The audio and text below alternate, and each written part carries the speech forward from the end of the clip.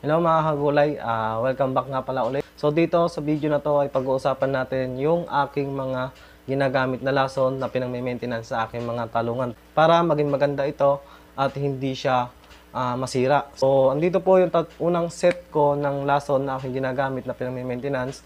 So ako kasi pa nag-spray kasi ako mga kagulay, tatlong lason lang po ang aking pinagsasama-sama sa aking sprayer. Siyempre dito sa lason naman mga kagulay, hindi naman dapat na iisa lang o mag-stay lang tayo sa isang lason lamang. Ah, nagse-separate din po kami o meron po kaming lason na binubukod at pinagsasama-sama para hindi po ma-immune yung mga peste sa aming mga talungan.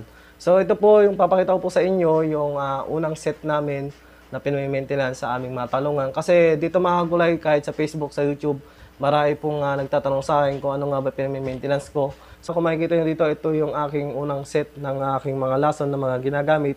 At siyempre gusto ko rin po i-share to sa inyo kasi karamihan niya nagtatanong sa akin kung ano nga ba yung aking mga ginagamit na lason.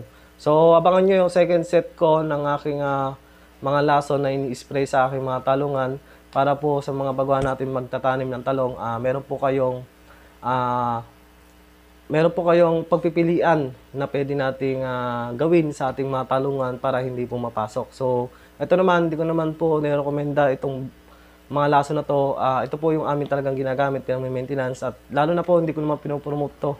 Ah, sari-sari pong company yan pero kung ano po yung nagagamit ko at kung ano po yung nakakaganda sa aking mga tanim ay yung po ang aking sinasabing mga lason. So yun nga yung Megatonic, isa pong pulyar yan na aming gamit na po noong pa nung nagtatanim pa po kami ng Fortuner at saka Morena. So Megatonic hindi po talaga nawawala sa aming mga talungan yan.